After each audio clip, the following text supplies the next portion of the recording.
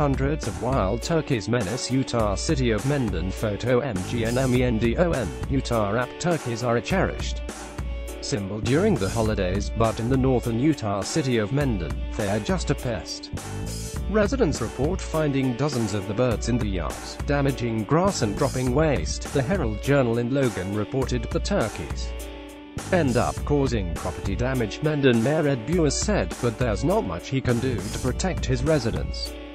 Only the Utah Division of Wildlife Resources can trap the hundreds of wild turkeys or issue hunting permits to thin the numbers. The problem is much bigger than Mendon, said Phil Douglas, Division if Wildlife Resources Conservation Outreach Manager for the Northern Region. Wild turkeys can be found throughout Cache County and beyond. We have turkey depredation issues really all throughout the state, Douglas said. There are three basic approaches to handling wild turkeys, Douglas said.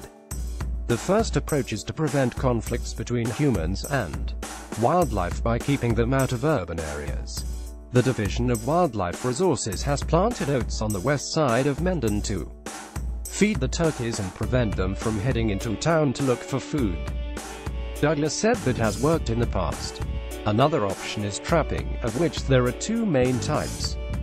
A walk-in trap can handle 15 to 20 at a time, while a drop net trap can round up 50 birds. Division of Wildlife Resources crews are getting ready to start trapping, Douglas said. The cold weather and snow helps concentrate the birds in certain areas, making them easy to trap in groups. The third option is issuing fall hunting licenses.